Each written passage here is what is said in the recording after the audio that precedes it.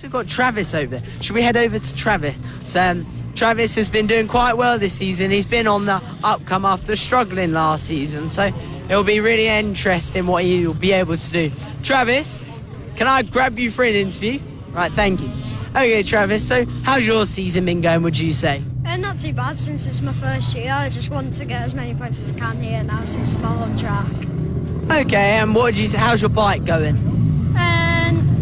And it's going good. I just need to improve my pace a bit more. Right. Okay, and what would you say would be the biggest thing you want need to change this season? Uh, maybe like confidence and like like having more trust in the tyres and myself to like throw around the corners more and like get more speed.